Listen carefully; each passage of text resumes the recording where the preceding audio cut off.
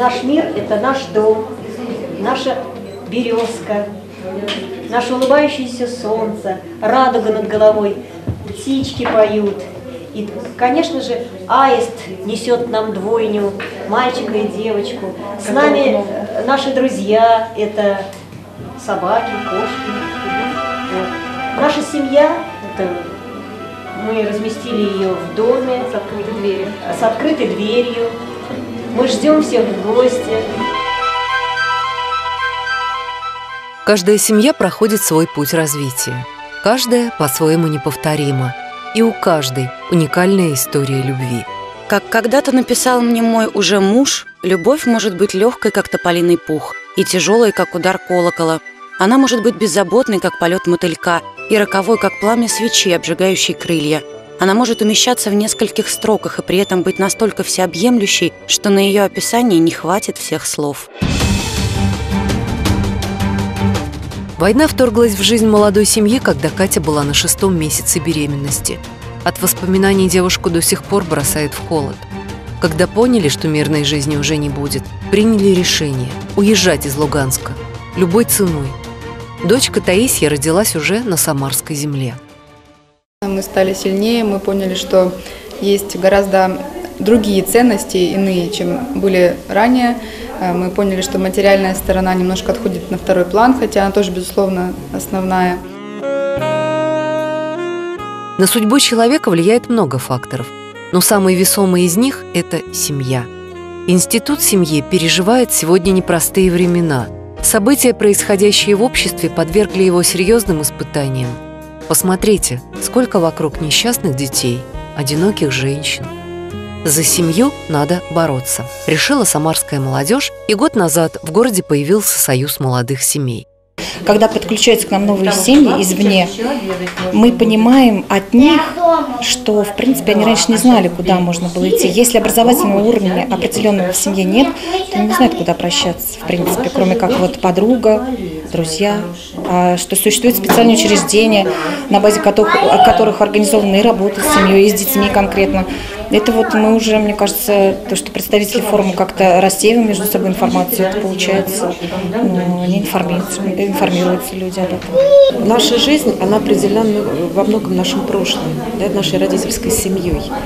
И многие не получили того, что они могли получить в детстве. Они не знают, это ведь не вина их, а беда в том, что они не знают, как вообще должно быть. Кто-то растет вообще в государственном учреждении, кто-то растет в такой семье, которая не дает им э, ничего того, чтобы они были сами счастливыми.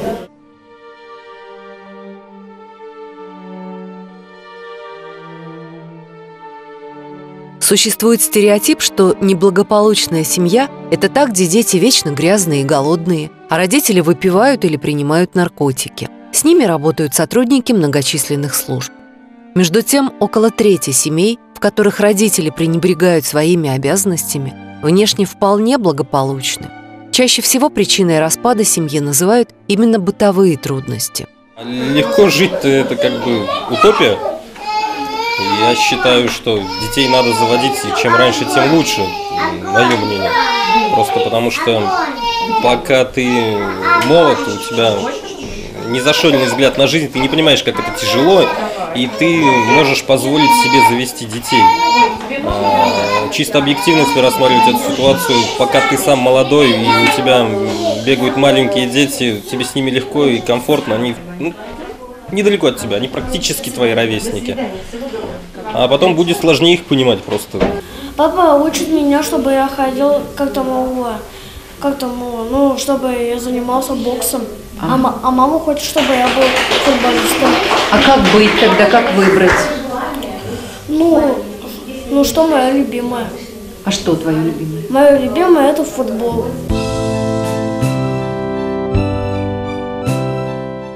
В форуме молодых семей, проведенном городским центром «Семья», участвовали в основном мамы.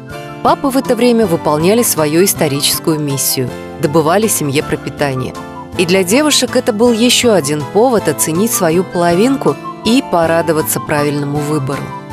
Вот он работает, это у меня настройки, вообще по профессии он программист. Ну, выхода нет, он пошел на стройку. Он приходит после стройки уставший, и вот он занимается с дочерью, она у нас букву «Р» не выговаривает, он постоянно с ней вот приходит, все, занимается буквой «Р». Ну, мы еще не получается, но он настаивает. Вот в игры играют, тут может прийти сразу говорит, все, собирайся, пошли гулять. Вот если плохая погода, с маленьким мы не можем выйти. Он ее забирает, идет с ней гулять. Низкие показатели рождаемости и количество браков говорят о том, что у молодежи нет уверенности в завтрашнем дне. Женщина рожает, когда уверена, что ее ребенок пойдет в садик, у них будет врач и жилье. Не меньшим испытанием становится для супругов и вопросы взаимоотношений. Об этом на форуме не только говорили, но и показывали. Выход есть. Мы, Союз молодых семей, привлекаем какие-то общественные организации, фонды, э, культурные учреждения, образовательные. И уже здесь мы адресную помощь получаем, как непосредственно сегодня на форуме. Были представители разных ведь организаций. Было много вопросов от молодых семей, которые дома, может быть, и не знали, кому и куда задать. А сегодня мы получили конкретные ответы с телефонами. Сегодня в обществе разрушены многие моральные устои. Но неправильно говорить, что молодежи уже не на что опираться. День матери, день семьи, любви и верности. Появление новых праздников – это тоже попытка возродить семейные ценности. И все же главное богатство семьи – дети. Не случайно сегодня все больше многодетных пар. Семь – это семья. Это вот полнота, наверное, этой ценности семь. Вот хотим семь детей четверых своих и троих взять с детского дома. И чтобы, знаете, я хотела как-то вот с мужем мы хотели построить, наверное, православный христианский дом, ну вот для сирот. А потом подумали, построим мы дома, лучше я стану мамой, чем вот, например, там а, служителем, например. А чтобы стать мамой и донести вот детям христианские ценности, чтобы они когда возросли, у них была э, вера православная, настоящая вера в Иисуса Христа, нашего Господа, и патриотизм, любовь к России. Если посмотреть на те семьи, которые здесь сегодня, я говорю, у нас счастливое будущее. Раз у нас такие есть семьи, значит, будут счастливые дети, значит, будет, как вот мы, может быть, пафосно говорим, и будет счастливая Россия у нас.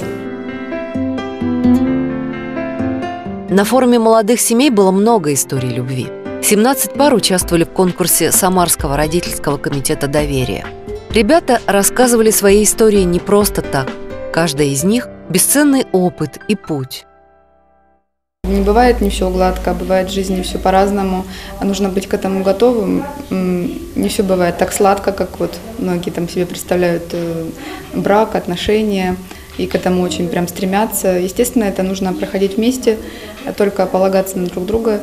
И на мой взгляд, брак э, скрепляет.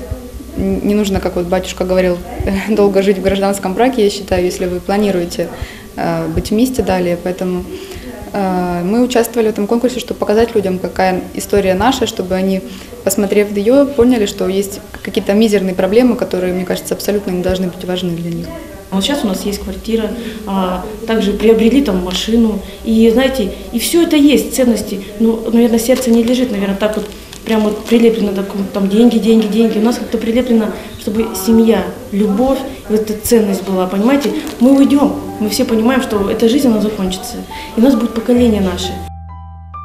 Сегодня у нас не осталось ни капельки сомнений, что где бы мы ни были и как бы там плохо и тяжело не было, мы вместе – мой муж – моя опора, а я его поддержка. Наш дом там, где мы находимся.